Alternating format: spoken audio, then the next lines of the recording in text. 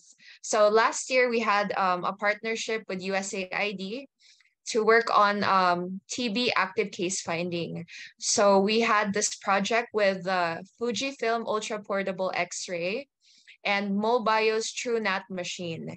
So both of these um, technologies are called the Introducing New Tools project from USAID. And so last year, from September to October, we were able to screen 1,774 TB presumptive patients because we were able to bring this technology right to their doorstep. So how it works if for the people that are not aware of this, um, the Fujifilm Ultra Portable X-ray is an X-ray machine that looks like a camera and you can bring it anywhere and it doesn't need electricity. It can be charged and used um, with a battery pack. Same with the MolBio's TrueNat uh, machine. It's a very uh, small machine and you can use it to test the sputum of the patient with or without electricity. So we were able to go to the farthest flung areas here in Bantayan. Um, so most of these people can't afford to travel to the mainland for treatment or for diagnostics. That's why we had this um, project and we brought the tools and diagnosis to them. And we saw there was a very, very high increase in case detection and also um, case success treatment. So by bringing these technologies to the people, people were more open to getting tested and getting checked for tuberculosis. So here, um, Bobby, you can see how the machine is lugged around in a suitcase. It's like a plastic that's the ultra portable x-ray. It's in like a plastic uh, container slash suitcase with wheels. So you can like take it anywhere with you.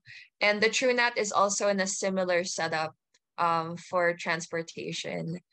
And as you can see here it's out in a open field area. So the machines can be fit in a giant plastic container or a plastic tub the same tubs that you can use to put um, things in when you store them we had um, these giant tubs and then we brought them in our boats.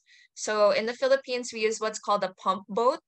So it's kind of like a smaller catamaran that we use to travel um, from islet to islet. Yeah, so here's an example of us on the boat. Um, this is from our Facebook page. So a little bit of shout out to my staff um, from Bantayan Rural Health Unit. You can add us on Facebook at facebook.com slash Bantayan Health. So um, the le- on the left is a picture of my staff and I commuting from the islet to another from our island to another islet. So as you can see here, the weather conditions are pretty bad. It was actually raining and the waves were big. So we were wearing um, rain jackets and it was a bit cold. Believe it or not, it can get cold in the Philippines, if especially if you're wet in the rain on a boat. And then so on the right, this was one of our last um, mission trips out in the field. And this was during one of the typhoons, Typhoon Paeng. We actually didn't know there was a storm signal raised until we were maybe around 4 p.m. because the place where we were at, Barangay Patao, did not have any signal. So we didn't know that there was a storm signal number one and that everyone was pulled out and excused from work yeah, we were still working um into the afternoon. So we couldn't stop rain or shine because the patients were there and actively waiting for us. So this is one of the challenges that we saw was the weather conditions. But you know what? It took a lot of teamwork and effort with my staff and with the barangay healthcare workers and the officials. New Tools Project helped us detect TB. So we did this in September and October 2022. So as you can see in 2021, we only had 110 TB cases. That was because um, it was still the pandemic year and people were afraid to go to the doctor or the hospital. And we were still a bit cautious about doing barangay missions because of the rampant increase in covid cases in Cebu province. So back in 2022 we had a higher case detection rate because of the TrueNat and the ultra portable x-ray. And now in June to um, or January to June 2023, we have 202 cases. But now in August, we have 254 254 TB cases now. So this next slide shows how the ultra portable X-ray and the TrueNat machine was very helpful in aiding us in the diagnosis of TB cases. So in 2022, we had 2,506 TB cases, and 1,774 of those were just from September to October 2022, using the TrueNat and the ultra portable chest x-ray. As you can see, bringing new tools to the barangays, to the people, can increase case detection by over 1,000%. This, I'm telling you, these tools are very, very crucial in eradicating tuberculosis. And for me, um, especially those of our um, GIDA or geographically isolated and disadvantaged areas, these tools can really help um, eradicate TB one barangay at a time. So if the chest x-ray was positive, then they had to do the TrueNat for the sputum, and then they would be referred to us, the doctors, for medical treatment, on-the-spot medical treatment, as well as PICT or provider-initiated counseling for um, HIV. That was just in one day. So we started at 8 a.m. and we ended at 4 or 5 p.m. As you can see, that's more than a diagnostic center will ever test and treat in one day. So this was the first day that we did it. And this was out in an open field and the barangay officials just put uh, tents. And as you can see, there's a shower curtain that we're using as a makeshift um, screen over there.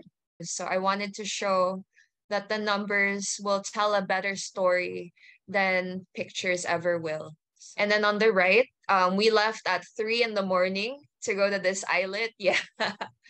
three in the morning because we have to go to the islet when it's high tide. So we have to go with the tide. If it's low tide, we can't cross the sea because then our boat will get stuck on the it will get um scratched and stuck on the bottom and we can't travel. So we had to go at three in the morning for active case finding. This was the most amount of patients that I checked in one day. I checked, I think it was, I was the only doctor and I checked 238 patients from 6 a.m. until 3 or 4 p.m. And this is the one where we left at 3 in the morning. We did it right outside their daycare and inside their um, gym. And again, when we arrived, um, actually before we arrived, there was a thunderstorm and we were soaking wet when we got to this barangay we were soaking wet and we didn't bring any extra clothes. So the barangay officials and our healthcare workers on the island actually gave us um, free t-shirts to wear because we were just drenched in um, rain. If we get the new tools project back here, we're willing to share um, the case finding with the other two municipalities, just like what we did last year. My message is to fully support technology and new tools for case detection and for active management of tuberculosis because you have willing healthcare workers such as me and my team on the field who are willing to promote these tools um, for the eradication of TB because I unfortunately I don't want to see another person die of TB. Just yesterday or two days ago, we had a patient living with HIV who also had tuberculosis pass away at the age of 24. And I don't want this happening anymore because I want the people here to be resilient and to be successful in whatever that they do. But unfortunately, with these diseases of poverty, um, a lot of people don't seek help because of the stigma and because um, the diagnostic tools are such a far-flung reach for them. So I hope that by bringing point of care testing to their doorstep, we can help eradicate tuberculosis one country at a time or one barangay at a time. So that's my message for them. So, welcome to another episode of End TB Dialogues 90 for 90 Global Voices series. Today, we have a very special guest from the front lines of uh, fighting TB in Bantayan, Cebu, Philippines. Welcome, Dr. Samantha Tinsay. Hi, Bobby. Thank you for um, having me here. Thank you. Thank you, Dr. Samantha. Dr. Samantha Tinsay, friends, uh, as many of you may be knowing, she's a municipal health officer in the municipality of Bantayan, Cebu in Philippines. So, uh, Dr. Samantha, uh, we have heard such inspiring stories from the front line. See, the real um, uh, uh, battle uh, to fight TB is on the front lines. That is where we, uh, yeah. you know, prevent TB. That is where we prevent transmission. That is where we diagnose TB, treat TB, care and support. And that is so critical uh, to translate the global goals to ntv yeah. locally in reality, ground on the ground. So thanks a lot for being a champion. Thanks a lot for being the hero on the ground. Tell us the inspiring stories, the difference which you are bringing in people's lives. Yeah, sure. Thank you. Thank you for inviting me here. And um, I just wanted to say I just recently spoke at the um, annual Philippine Coalition Against Tuberculosis um, convention in Manila. And so that's how I met um, Sumit from Mo- Molbio. And actually, we use one of their products called the TrueNat machine to help eradicate tuberculosis here in our island. So, just a little bit of background. My name is Sam. Um, I'm the municipal health officer here in Bantayan.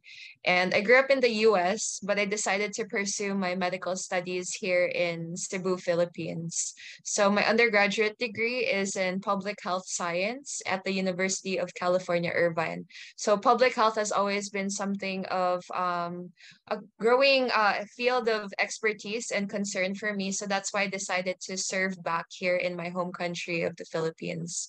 So going back to tuberculosis, as we all know, it's a disease of poverty. And unfortunately, here in our island, a lot of people have tuberculosis because of malnutrition malnutrition, not only that, because of poor hygiene. That's why now we're improving our water and sanitation and hygiene department because we want to help eradicate this disease. So last year we had um, a partnership with USAID to work on um, TB active case finding. So we had this project with the Fujifilm Ultra Portable X-ray and Molbio's TrueNat machine. So both of these um, technologies are called the Introducing New Tools project from USAID. And so last year, from September to October, we were able to screen 1,774 TB presumptive patients because we were able to bring this technology right to their doorstep.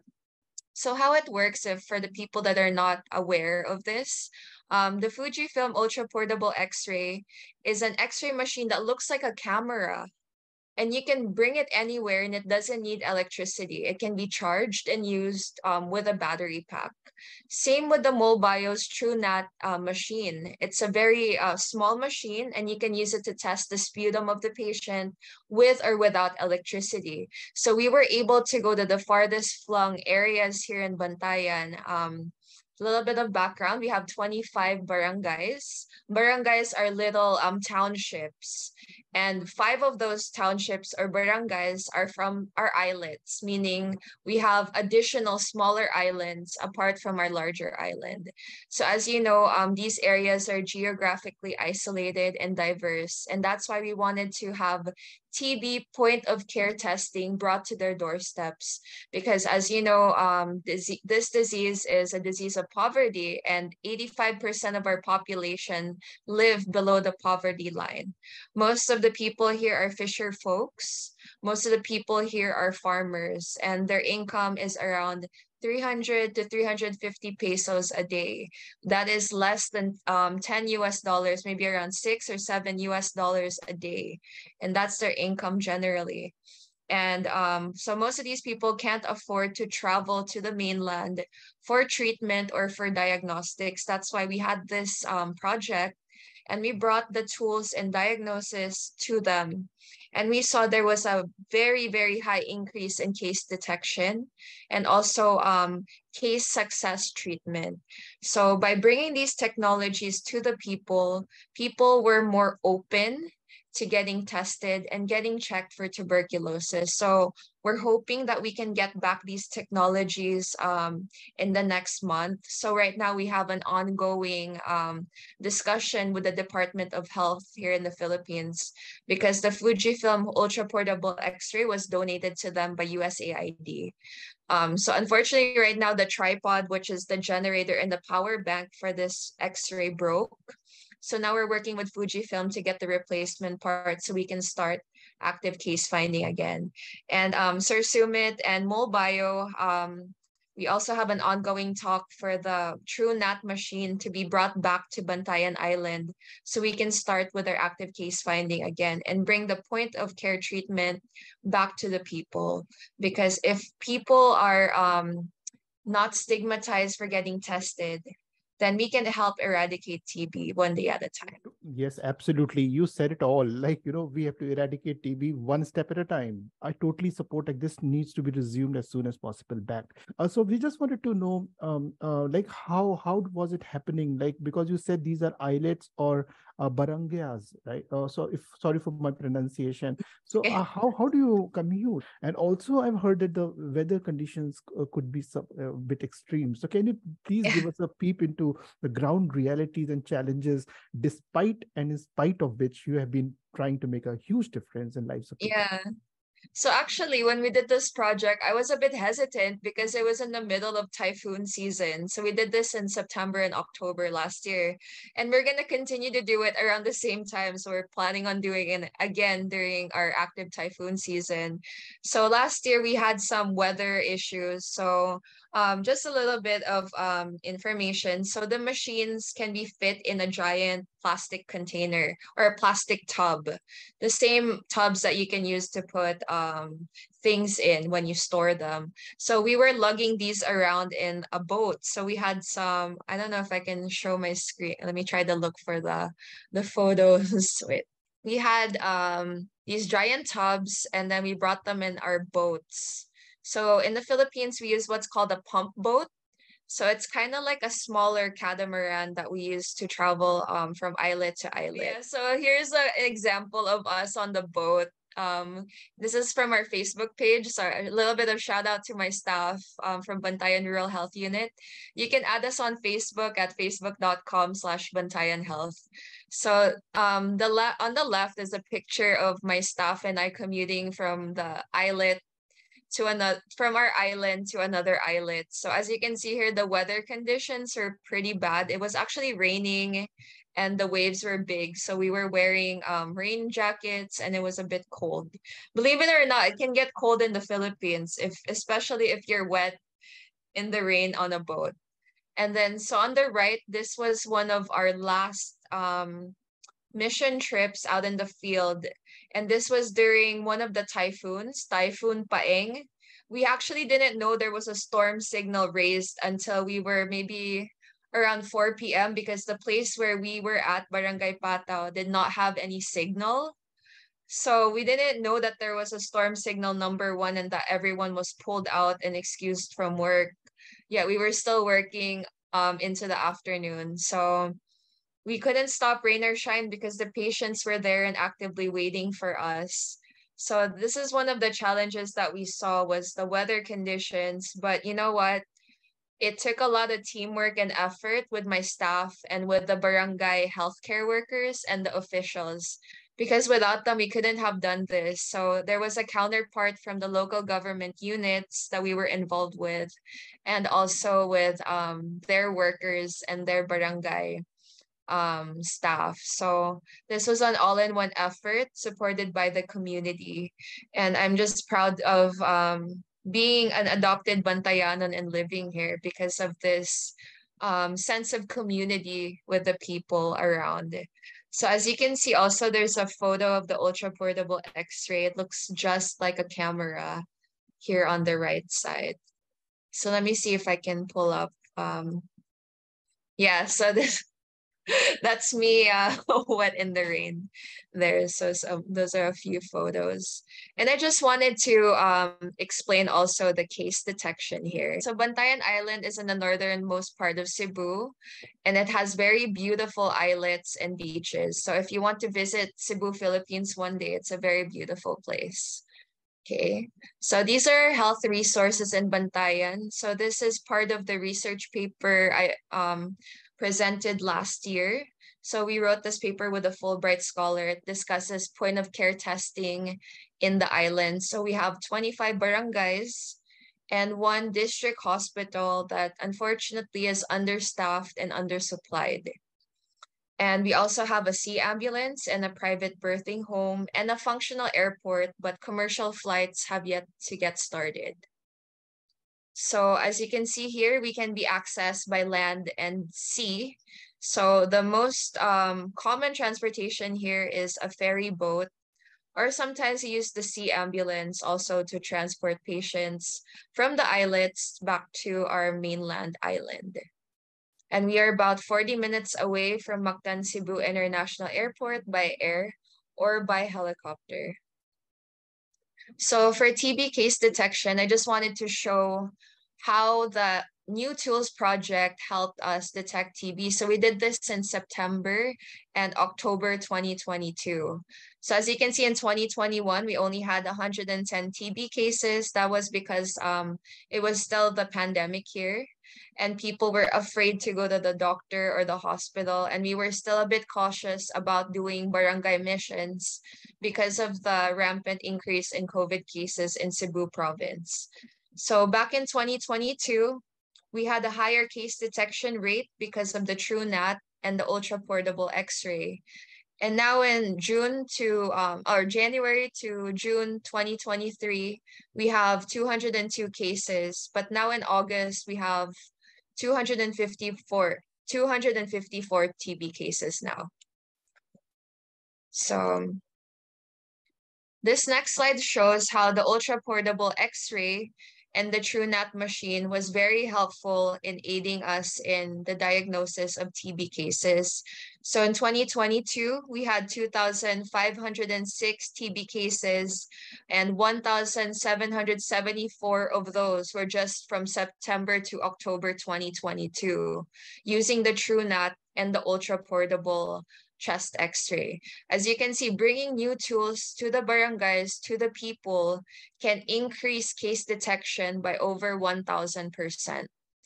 This, I'm telling you, these tools are very, very crucial in eradicating tuberculosis. And for me, um, especially those of our um, GIDA or geographically isolated and disadvantaged areas, these tools can really help um, eradicate TB one barangay at a time. So for this year, we have um, 700 and, or no, I think it's 1,003 um, TB presumptive cases. So TB presumptive means that they had uh, symptoms of tuberculosis or an upper respiratory tract infection. So for case notification, again, the numbers don't lie these tools really, really, really help us with detecting tuberculosis and eventually eradicate it here in the Philippines. Because unfortunately, um, TB is still very rampant in this country. Um, growing up in the US, I didn't really see cases of tuberculosis. It's kind of considered an ancient disease in developed countries such as the US and Europe. But here in Asia, it's still something that we struggle with and with any um, case finding mission, I am very excited to um, participate and include my workers. So for TB success rate, it also helps that we have these tools because as you can see, we have high success rates as well in our setting.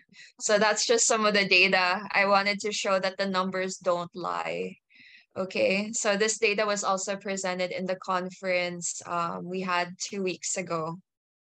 You have any questions? Sorry, I'm going so fast. I'm just so excited to share all this information. Yeah, not at all. We, are, I, I'm so much in awe of the kind of work which you have, which you are doing. Really, Dr. Samantha, just absolutely amazing. So much in awe, and so such an important uh, work. And also, as you rightly said, data uh, is data is so important and this brings out the importance of using uh, you know important uh, WHO recommended point of care decentralized tools like like TrueNat mm.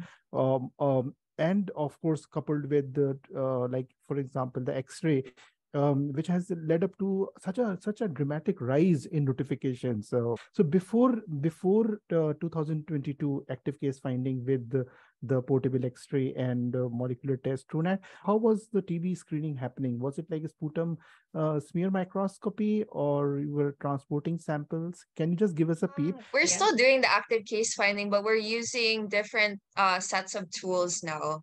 So uh, just a brief background. So I started working in Bantayan in November 2021.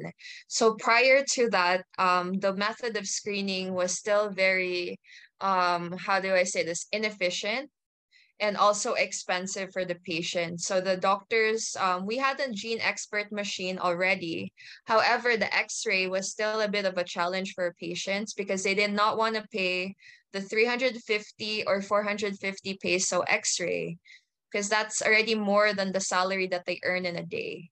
So um so what happened was in 2022 before the TrueNAT or the um, or the um, up ultra portable x-ray came we started a partnership with the PBSP so that's um, the philippine uh, i think business council here in the philippines and they were providing free um, chest x-ray vouchers for the people to get chest x-rays which is very helpful because now they can go to the diagnostic labs in our island and get the x-ray for free. But the hurdle that we found with this was that the people did not want to pay the boat fare or the tricycle or rickshaw fare to go to the labs because again that's cutting out from their daily budget. So that's how we're doing it now even though um now we have additional partners who are willing to do mobile x-rays with trucks that have x-ray machines in them but the challenge of that is you cannot bring the truck to the islets. So that's our challenge. Um, these uh, we have partners right now christian organizations that are bringing these mobile chest x-rays to the island to the mainland island which is good. But again it's not as good as the case detection that we saw with the ultra portable and the TrueNAT because that one is real point of care testing and that we can do right at their doorsteps and we can schedule it anywhere anytime. So for me it's still a bigger um bigger rise in case detection with the new tools project so inspiring for me to hear the difference which which has come uh, you know on the ground. So uh, so dr samantha uh, so um, so these uh, uh, both of the the x-ray and the molecular test TrueNAT they were fitted in a tub right and taken in the the boat? Yes um so they were put in these tubs and then they were put on the um on the boats. Let me try to see if i can uh, so we'll just do a brief overview how we did this so that um, people can understand the setup first. So we involved the barangay healthcare workers, and they're the ones who took the attendance and the vital signs. And then our own um, community nurses did the interview and the patient medical history, as well as the registration. And then the rad tech was the one who took um, the chest x-ray if the chest x-ray was positive, then they had to do the true TrueNAT for the sputum. And then they would be referred to us, the doctors, for medical treatment, on the spot medical treatment, as well as PICT or provider initiated counseling for um, HIV. We also did HIV testing on the spot on the same day because, as we know, a lot of persons living with HIV are also tuberculosis positive. So we just wanted to end the stigma and um, end the frustration of patients dealing with these tests by offering it on the spot. So this is the ultra portable X-ray. It uses uh, artificial intelligence or AI to read um, tuberculosis. So your your chest X-ray will turn out with a red spot if it has TB. And it's much easier to tell the patients that um, you have tuberculosis and show them this picture with a red spot on it than a traditional x-ray. And we also allowed patients to take photos of their x-rays if they had a smartphone so that they can also show their family members what happened that day. Yeah, so I found this tool to be more effective in explaining to patients how tuberculosis in their lungs look like versus a traditional x-ray which is just black and white and they don't really understand it so that was our intro. So here's an example of a TB patient. As you can see, it um, turns up red. And on the right, um, that's the first barangay that we did um, TB screening with. That's Barangay Bantigue. And the, actually the barangay captain, who's the barangay official, was very, very excited. He's the guy on the on the screen you see on the right. He's very happy and excited to have this. We did this in a place called Sayao. Sayao has one of the highest case rates of tuberculosis in his barangay. It's probably because the houses are shanties and they're all right next to each other. So as you can see here, we also feature the medical technologist with the TrueNat machine. And she wasn't using electricity to run the machine at all. She was just using the battery pack that came with it. So as you can see, it's highly effective and the community is always excited to have free medical services available to them. So here we go. This is the first one. You can see a clearer picture of the Truenat on the right side of the screen and our partners with USAID, the RadTech and the medical technologist. Okay. So as you can see here, there was 117 patients tested and seven of those had TB with a case uh, detection of 6%.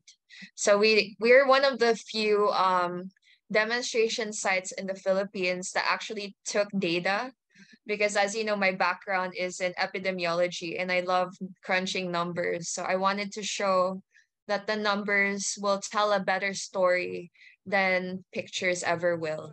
Can you just let us know like 117 were tested on the same day or or Yes, it... this was just in that um barangay Bantigue, Sayao as the small um smaller subset of that. That was just in one day. So we started at 8 a.m. and we ended at 4 or 5 p.m. As you can see, that's more than a diagnostic center will ever test and treat in one day. So this was the first day that we did it. And this was out in an open field and the barangay officials just put uh, tents. And as you can see, there's a shower curtain that we're using as a makeshift um, screen over there. So here, um, Bobby, you can see how the machine is lugged around in a suitcase. It's like a plastic, that's the ultra portable x-ray. It's in like a plastic uh, container slash suitcase with wheels. So you can like take it anywhere with you. And the Truenat is also in a similar setup um, for transportation. And as you can see here, it's out in an open field area. So people had questions about the radiation of the ultra portable actually has less radiation than a traditional X-ray. And the Truenat is also unique as it can um, check the sputum on the spot. So patients don't have to line up for the GeneXpert test. We can check it on the spot as well. So on the right, this is one of the case findings we did in the district hospital. We wanted to help check their staff and also some barangay health care workers see, here's a larger photo. It's just like a tripod. You can set it up like a photo booth anywhere for the ultra portable. Unfortunately, um, the Department of Health here in the Philippines said that we couldn't use the ultra portable just yet because the tripod, which is also the power bank in the generator, um, something malfunctioned. So Fujifilm, thank you Daisuke uh, from Fujifilm, they will be sending a replacement soon so we can use it. Yeah, so this one is in Barangay Sillon and only 4.2% tested positive or two patients. So that's pretty good. So as you can see, there are houses because this was in the Sillon NHA housing community. Okay. And then this one is at the district hospital. As you can see on the bottom left, that's the Truenat machine. It's just a standalone, doesn't need electricity. It's just all in one there with our medical technologist. So this one, only one tested positive out of 75 because these were already um, known healthcare workers and they're very good about taking care of their health. So one tested positive, that one had uncontrolled diabetes. As you can see on the left, this is, um, I think the barangay with the second highest case detection rate of almost 9%. 156 patients got checked on that day, and 14 of them were positive for tuberculosis. And then on the right, um, we left at three in the morning to go to this islet. Yeah. three in the morning because we have to go to the islet when it's high tide. So we have to go with the tide. If it's low tide, we can't cross the sea because then our boat will get stuck on the it will get um scratched and stuck on the bottom and we can't travel. So we had to go at three in the morning for active case finding. This was the most amount of patients that I checked in one day. I checked, I think it was I was the only doctor and I checked 238 patients from 6 a.m. until 3 or 4 p.m. Yeah. it was pretty crazy, but I couldn't have done it without our team. We also provided free blood sugar testing. Um, as you can see in the photo there, they're doing the sugar test and also some pediatric checkups as well very supportive barangay officials here as well, providing so much food and snacks for us so that we couldn't go hungry. yeah. So this was the one I discussed earlier. We checked 156 patients. So as you can see, it's just like um, a traditional x-ray, but more portable. Yeah, 9% here, 14 out of 156.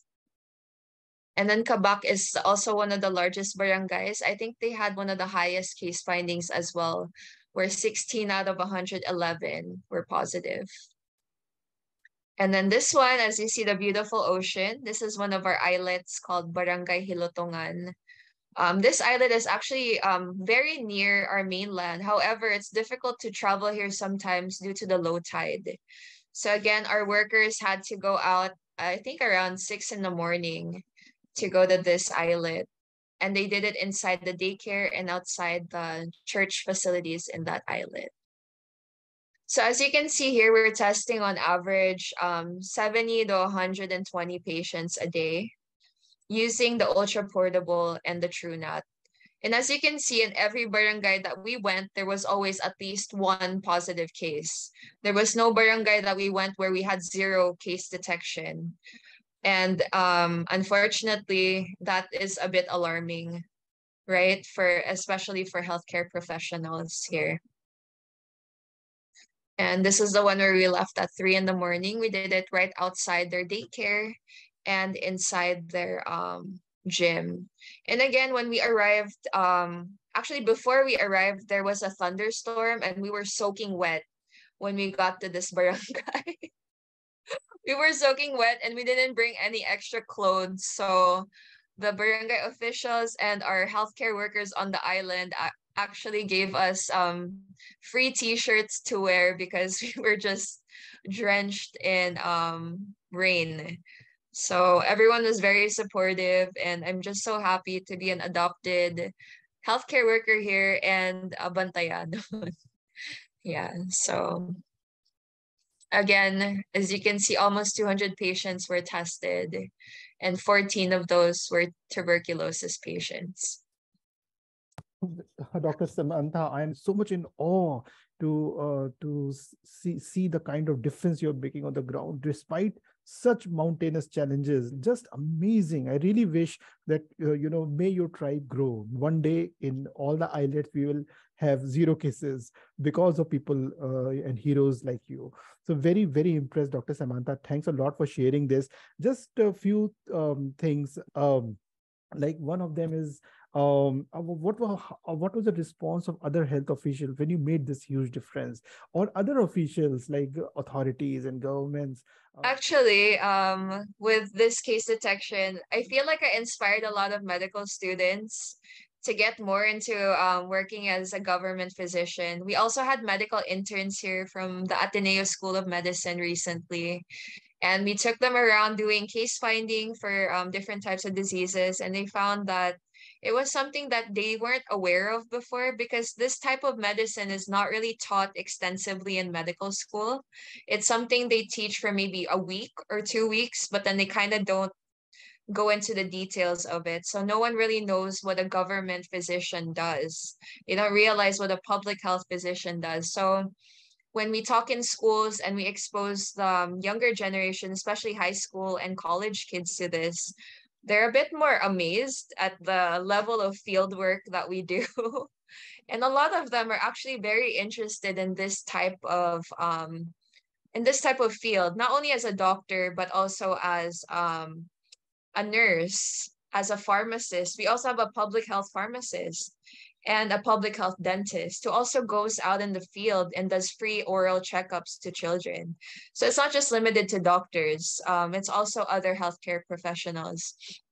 So I think in this case, I, I hope that we're transforming the next generation to get more into this because unfortunately, we are understaffed.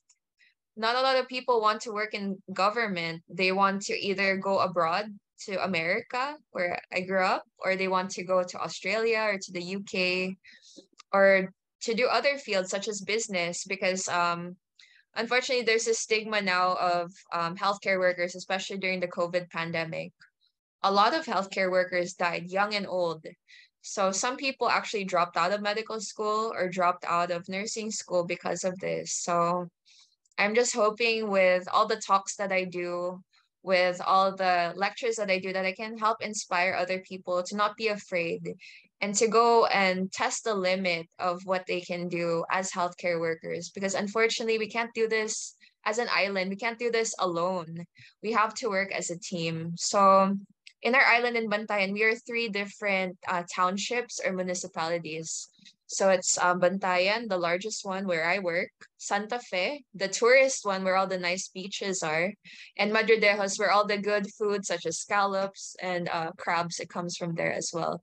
So as a team, as one island, we have um, meetings all the time. We always communicate with each other regarding medical missions and other cases. So it's not just limited to Bantayan. We're also helping the other two municipalities. So if we get the new tools project back here, we're willing to share um, the case finding with the other two municipalities, just like what we did last year. Yeah, thank you. Thanks a lot to, for sharing that, Dr. Samantha. And let us hope that this gets uh, not only resumed, but also scaled up because this is exactly what we need if we are to end TB. So thanks a lot for sharing that. Dr. Samantha, what was the response of the ministers and the other officials? Actually, our mayor was very excited about this and very supportive. And he didn't realize how much of an impact it had. But when it comes to health, he's my number one supporter. And I couldn't have done all these projects without his backing. Um, our mayor always wanted to go to medical school as a college student, but unfortunately, his father died young. So he had to take up the family business in poultry and in their um, dried fish business. So he couldn't pursue his dream of going to medical school. So a way of him supporting our projects is by giving his full financing and support. So I'm just so thankful that he and also our um they're called concejals or the or the municipal councilors very very supportive and num- number one fans of healthcare. And i think that's why bantayan um, we were awarded as one of the top five uh, municipalities in local health systems in central visayas which is our region. Because we want to um, instill universal healthcare meaning making healthcare free accessible and efficient for, for all our um, citizens here. So good support. Um, in terms of other mayors, maybe a lot of other mayors from other places feel a bit competitive, which is a good thing. so maybe they also want to scale up um, what they're doing because of the projects that we have here. Thank you so much for sharing that. And so, so uh, my my regards and salutes to the mayor and the uh, and the municipal uh, councilor. If I got that right, let's shine a spotlight. If you can, uh, please share their names with us and our deepest respect. Yeah. So our mayor is Mayor Arthur E. Despi, and our vice mayor is Vice Mayor Antonio Montemar. Um, not only them, but we also have our city councilors, such as our city, our municipal councilor on health, Dr. Apollo Sessa, who's a licensed dentist. He's so very supportive of creating ordinances and laws that support health and that instill um, good welfare to the people here. So shout outs to them not only them, but also our barangay officials. Barangays are the smaller townships, and I'm so thankful for all the captains of these barangays because they are very, very supportive with any sort of health project that we have. We haven't seen any barangay that was against us. They're full force for us. So thank you so much to those captains as well. And our thanks and salutes to you too. So, Dr. Samantha, quickly, uh, one question, please uh, uh, respond to this. That you know, um, not only in Philippines, even in India, many uh, many youngsters perhaps have that American dream, and uh, you were you were you were raised there. And I'm just uh, imagining like uh, what inspired you, motivated you, what what what's the driving force within you that brought you back to Philippines, but also to uh, you know take up such a huge mantle and really making a difference. Thank you. Yeah, so I actually moved back to the Philippines for med school. It was more of a financial decision because, as you know, doing medical school in the United States will cost you um hundred thousand to four hundred thousand dollars. At the time, I didn't want to be in financial debt because I graduated university during the height of the American recession. So I graduated college in 2009, which was the year after the recession. So I was thinking there's a better way to do medical school without being financially in debt or stuck. So I started looking at medical schools in the Philippines and I found that their curriculum was actually pretty nice. We have also Indian classmates in our university. So hello to them as well. So um yeah, so I saw it was more of a financial um uh, less of a financial risk to go to medical school here, as well as start to embrace more of my roots by learning more about um, my culture and speaking the language more. So I decided to move back here um, back then for med school. And I don't regret that decision at all because it pushed me to the field that I am in today. It's actually a bit of an accident how I ended up in Bantayan. I was just here on vacation, and it so happened the time I passed the board exam. Um, I also talked to the owner of the resort, who happened to work also in our municipality. And so I asked her if there was a job opening for a doctor because I wanted to moonlight before I went back to the US and pursue other things. And she said, Yeah, um, how long are you gonna be here? I said six months, and now almost two years later, I'm still here. Yeah, it's because I love the people. To be honest, the reason I stayed was the people are very genuine. I'm getting kind of teary eyed. Uh, genuine, and also I want to help promote the healthcare and well being of this community. So that's why I stayed, and uh, hopefully I can stay for many more years to come. yeah. All all power to you. You know you are a light, and you will shine light wherever you go. So thanks a lot for for doing that, Dr. Samantha. It really needs a lot of inner conviction and courage to do what you are doing. And i'm just i'm personally so inspired and uh, and i do hope that many others will. So uh, dr samantha as you know the world leaders will be meeting at the un high level meeting on tb uh, which will begin in next two two weeks or so. So uh, just wanted to know you are a leader on the ground you know making a huge difference in the fight against tb so, uh, what is your call? What is your message uh, to those world leaders who will convene uh, in uh, about two weeks? My message is to fully support technology and new tools for case detection and for active management of tuberculosis because you have willing healthcare workers such as me and my team on the field who are willing to promote these tools um, for the eradication of TB because I unfortunately I don't want to see another person die of TB. Just yesterday or two days ago, we had a patient living with HIV who also had tuberculosis pass away at the age of 24. And I don't want this happening anymore because I want the people here to be resilient and to be successful in whatever that they do. But unfortunately, with these diseases of poverty, um, a lot of people don't seek help because of the stigma and because um, the diagnostic tools are such a far-flung reach for them so i hope that by bringing point of care testing to their doorstep we can help eradicate tuberculosis one country at a time or one barangay at a time. So that's my message for them. Totally We'll repeat that one barangay at a time. So thanks a lot, Dr. Samantha. Um, this is such a huge inspiration to be on a Saturday morning. You gave me a lot of hope today and I'm so inspired personally. So thanks a lot again. Friends, we were listening to Dr. Samantha Tinsay. She's a municipal health officer in Bantayan uh, municipality in Cebu in Philippines. So um, again, Dr. Samantha, I'm uh, echoing that, you know, a step by step, brick by brick, block by block, uh, barangay by barangay, we will be able to end TB. That's the only way. And with leaders and heroes like you on the ground, this gives me hope that this one day will happen very soon. You will go for active case finding and let us hope uh, and pray yes. that you will have zero cases uh, in those barangay. That is so important to make uh, make it happen. Thanks a lot, uh, Dr. Thank you so much. Thank you so much, Bobby. And I hope this reaches out to the people that we're reaching out to. You. Thank you so much. Madamo nga salamat and hope to see you soon. Yeah, thank you. Bye-bye.